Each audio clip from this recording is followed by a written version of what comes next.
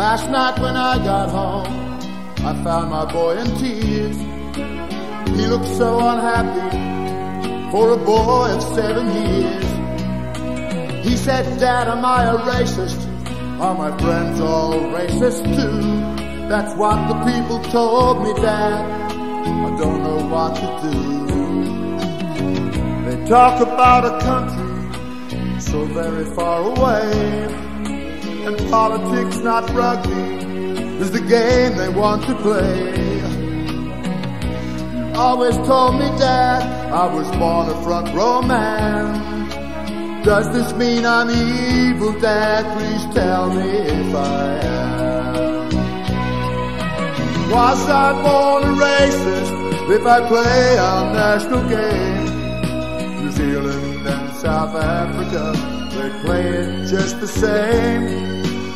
People who play politics are just not on the ball. I feel, that if they had their way, there'd be no sport at all.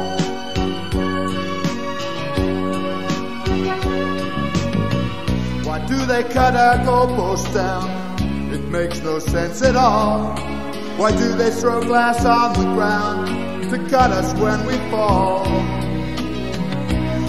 Daddy, can their politics destroy the way we learn to play rugby like our fathers did and wear the silver fern?